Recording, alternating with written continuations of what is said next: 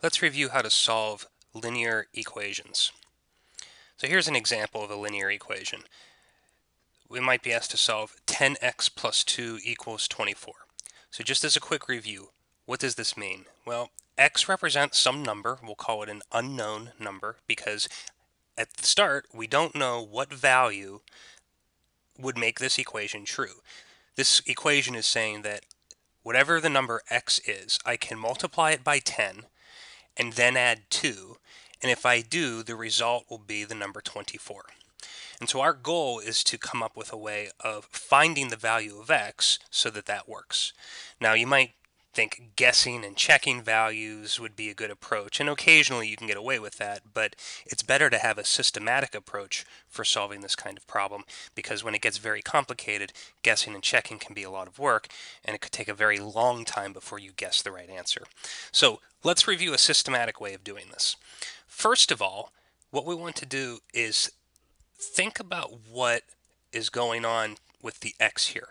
We're multiplying it by 10 and then we're adding 2. So that I know that that's the order because that's the order of operations. We know in multi multiplication comes before addition in the order of operations. And in the way this is written here, we can see that that's what we would do. If we plugged in a number for x, like if I plugged in a 3, 10 times 3 gives me 30, and then add 2 and I get 32. That's obviously not the right answer. So what we're going to try to do here is isolate x. Get x by itself in this equation. In fact, sometimes you'll see the question written that way. It'll ask you to isolate x in an equation like this one. So what that means is we're going to try to undo the operations that are being done to a number you plug in for x to try to get x by itself remember just like when you put on your socks and shoes to get them off you have to take off your shoes before your socks. You have to undo the operations in the reverse order that you did them. So if I'm doing the multiplication before the addition here to undo that I have to undo the addition before I undo the multiplication so let's see, how would we do that? How do I undo addition? Well, I do the opposite operation. The opposite of addition is subtraction. So here's what we can write. I can start with what I had on the left side there, 10x plus 2. That represents some number. If we know what x is, we could figure out what number that is. I'm going to subtract 2 from that number. I'm also going to do that to the right side. I'm going to subtract the same value. Remember, when equal sign means is the same as. So if I had the left side equals the right side here, that means the value on the left side is the same as the value on the right side. Whatever number we get out of 10x plus 2 is the same as the number 24. So, well, if they were the same, then when I subtract 2, the results will also be the same. So these two things are equal. Now I can start to simplify because look, if I add 2 and then subtract 2, that cancels out because plus 2 minus 2 is just 0. So I'm really looking at 10x plus 0 on the left side. Well, I'm not going to write plus 0 because that doesn't change the value. So it's just 10x on the left side. And on the right side, 24 minus 2 is 22. So I'm one step closer to isolating x, to getting it by itself. The next thing I want to do is undo the multiplication, the 10 times x. I need to undo that, and the opposite operation of multiplication is division. So in order to undo the multiplication, I want to divide by the same number. If I have 10 times x, I want to divide that by 10 and I have to do that to both sides of the equation. So I divide both sides by 10. Why do I do that? Because on the left I have x times 10, and then when I divide it by 10, dividing undoes the multiplying, and that means I just get x back. On the right side, I have 22 tenths, which you could simplify a few different ways. Uh, you could reduce that fraction to lower terms, which would be 11 fifths. You could write it as a decimal, which would be 2.2, and that's an exact value for the decimal. There's no rounding involved, so I can say that those are uh, equal. You could also write this as a mixed number, but we don't tend to do that in algebra. We don't tend to use mixed numbers very much because sometimes it looks like multiplication, right? Two and a half kind of looks like two times a half. And so we tend to avoid doing that in algebra. Um, so I'm not going to write a mixed number, but all three of these different ways of writing x are legitimate ways to express the answer. And if I plugged 2.2 back into this equation, you'd see that it worked. 10 times 2.2 would give me 22. And then if I add 2 to that, 22 plus 2 is 24. So this was just a little check, which is often a good idea after you solve a linear equation to plug it back in and check to make sure that it does give you what you want. All right, let's try another one. Um, I'm going to go a little bit faster through the steps this time because we've already reviewed the ideas and I want to focus on uh, what are the uh, new techniques for solving this kind of equation. So this time I've got fractions. There are two ways to solve this problem. Um, let's just do the one that looks like the way we did it last time. Let's undo the addition. So I can take the equation's left side and subtract one-fourth from it. And I want to subtract the same value from the right side. So then these cancel out, the plus one-fourth and minus one-fourth, leaving me with just one half x on the left side. What's on the right side? Uh, 2 minus 1 fourth, well, 2 is the same as 8 fourths. How do I get that? Well, 2 is the same as 2 times 1. And instead of writing a 1 as 1, I could write it as the fraction 4 over 4. And if I multiply, I can think of the 2 as a fraction 2 over 1. And then 2 times 4 is 8. 1 times 4 is 4. So I'm using the idea for fractions that I just multiply straight across here. That's how I got 8 fourths. So 2 is the same as 8 fourths. If I subtract a fourth from that, I'm going to get 7 fourths. Okay. So this was just a little side calculation to review how to simplify fractions. Now, I'm one step closer to isolating x. Uh, right now, I'm multiplying x by a half. Multiplying by a half. Mul you can think of that as dividing by 2, right? Multiplying by 1 half is the same as dividing by 2. Dividing is the same as multiplying by a reciprocal. So if I want to undo multiplying by a half, which is the same as dividing by 2, I can undo that if I multiply by 2. So I'll take 2 times what was already there on the left side, and 2 times what was already there on the right side. And simplify. Let's simplify 2 times 1 half. 2 times 1 half is 1. And that will give me 1 times x, but I'm not going to write 1 times x. That's the same as just x. And then on the right side, I've got 2 times 7 fourths. If you want to simplify that, you can think of it as 2 over 1 times 7 over 4.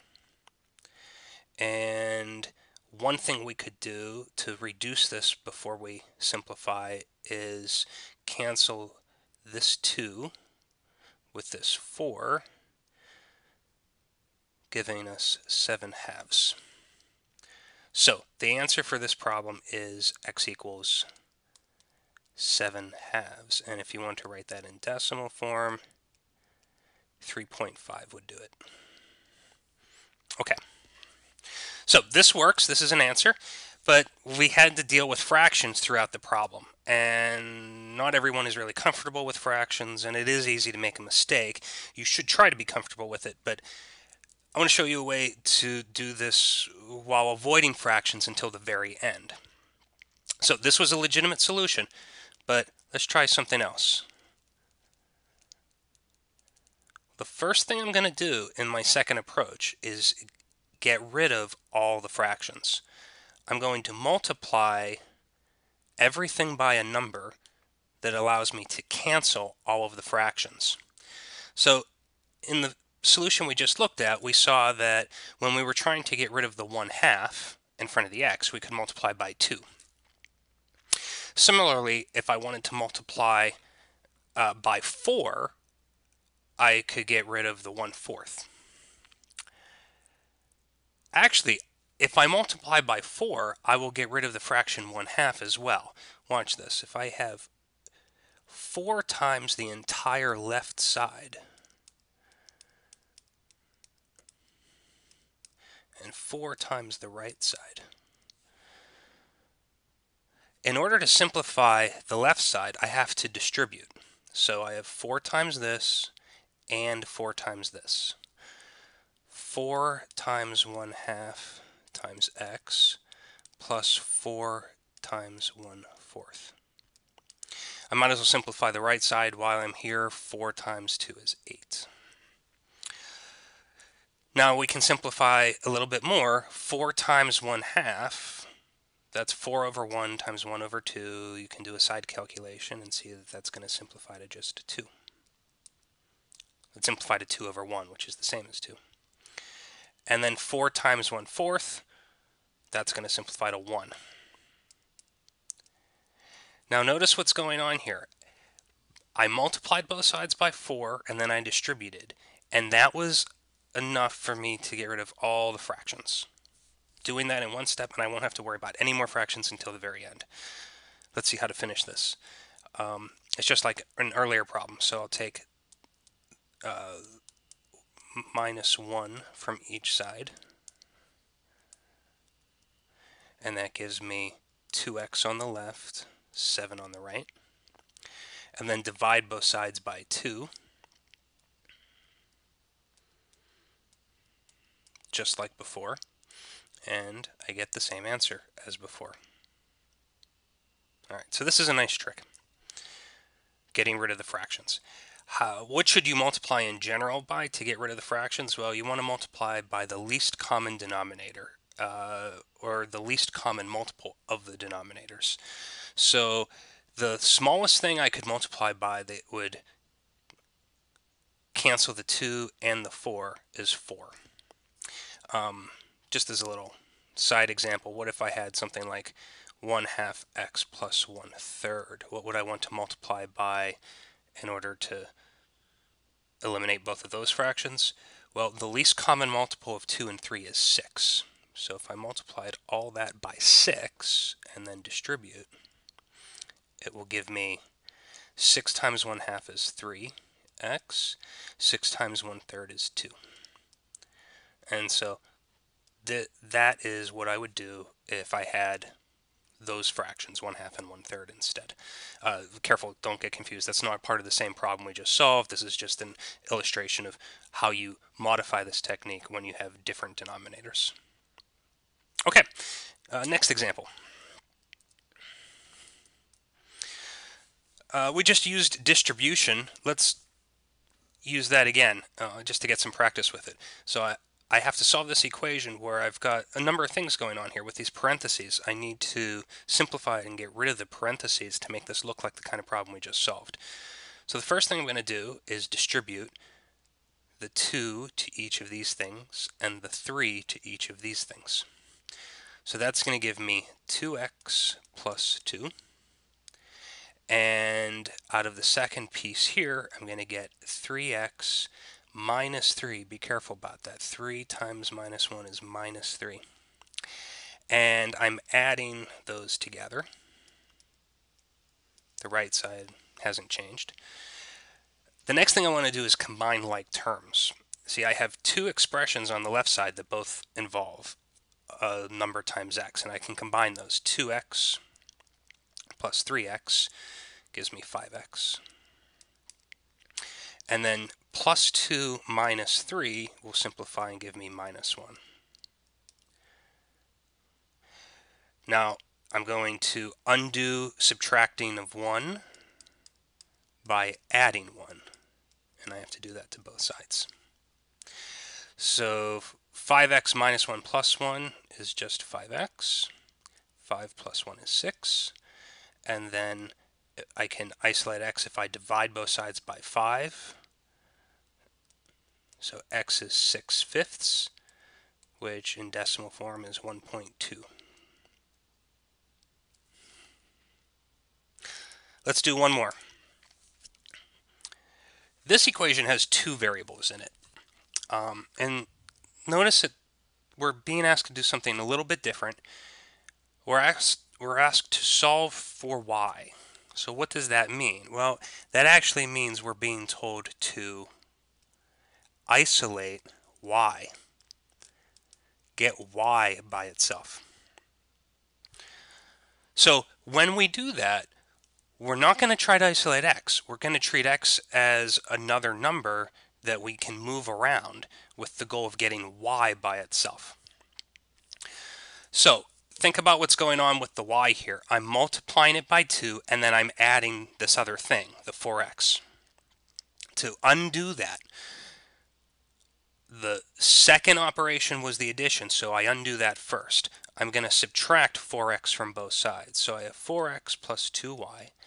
I'm going to subtract 4x from both sides. Why do I do that? So I'm adding 4x and subtracting 4x. Those cancel out, leaving me just 2y.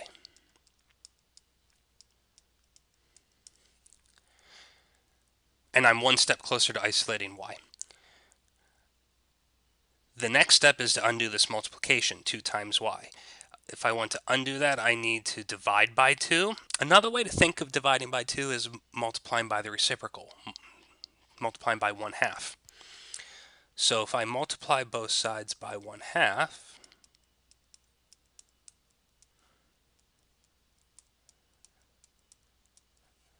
then on the left side, the 2 times 1 half will give me 1. 1 times y is just y. And you'll see the reason that I decided to think of it as multiplying by the reciprocal is because it makes it easier to see what happens next. When we're simplifying the right side, I have a multiplication times this expression in parentheses, so I distribute. 1 half times 10 is 5, and 1 half times 4 is 2. So 1 half times 4x is 2x. But be careful, notice that there's a subtraction here. So it wasn't actually a, a 2x, it was a or uh, it wasn't actually a 4x, it was subtracting 4x. So when I multiply that by 1 half, I have to remember that I'm subtracting the 2x.